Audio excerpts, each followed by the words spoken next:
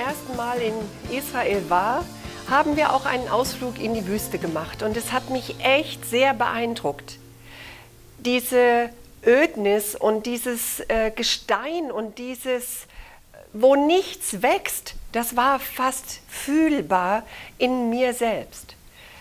Überall, wo man hingeschaut hat, trocken, braun, heiß. Obwohl man uns erzählte, dass es auch wenn es regnet, in der Wüste blüht, konnte ich mir das kaum vorstellen. Und genauso wie es im Natürlichen ist, ist es ja auch in unserem geistlichen Leben so. Und im geistlichen Leben sprechen wir ja auch von Wüstenzeiten. Wüstenzeiten kennen wir alle.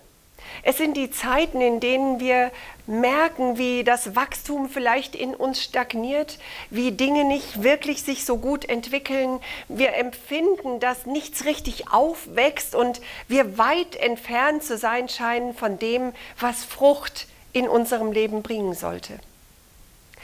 Und Neulich sagte jemand zu mir, oh, weißt du, meine Wüstenzeiten hören eigentlich gar nicht auf. Ich bin ständig in der Wüste.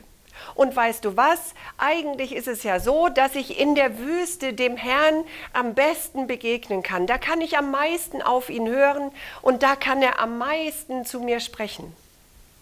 Und da habe ich darüber nachgedacht, ob das so sein sollte, ob das Gottes Wunsch und sein Wille für unser Leben ist.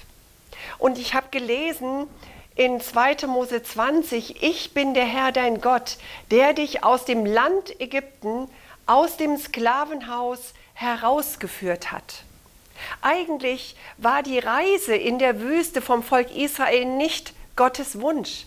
Es war nicht sein Wille, dass sie in der Wüste bleiben sollten. Es war ihr Unglaube, ihr Murren, ihre Auflehnung und Rebellion, die sie in diese Lage versetzt haben. Und trotzdem, mittendrin, das stimmt, Gottes Versorgung war da. Manna war da, Fleisch war da, Ihre Füße schwollen nicht an und ihre Schuhe gingen in all den Jahren nicht kaputt.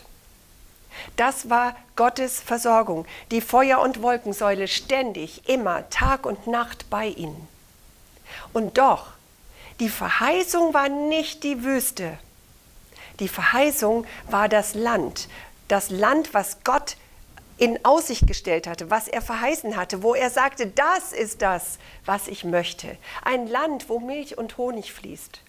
Ihr sollt ein Land betreten, ihr sollt ein Land für euch in Besitz nehmen. Das war Gottes Ziel. Weißt du, Wüstenzeiten sind in unserem Leben, das ist richtig. Das haben wir alle erlebt. Aber ein Siedeln in der Wüste, ein Bleiben in der Wüste, das ist nicht das, was Gott möchte. Du sollst nicht in der Wüste zelten, sondern du sollst eigentlich das verheißene Land in deinem Leben einnehmen. Du sollst nicht in der Wüste bleiben.